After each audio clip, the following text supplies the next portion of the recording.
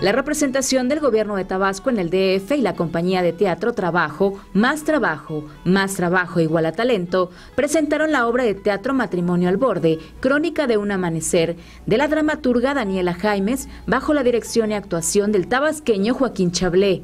Con la actuación de Diana Carranza en la Crónica de un Amanecer, título original de esta obra teatral, se descubre cómo decirle adiós y en paz a una relación. En un divertido recorrido que va del dolor a la ira y de la resignación al deseo, una histérica mujer dialoga con el abogado de su esposo, quien trata de persuadirla para que firme el divorcio. Los participantes recibieron reconocimientos por parte del gobierno del estado, agradeciendo el fomento de las artes escénicas y la pasión que imprimen en el escenario.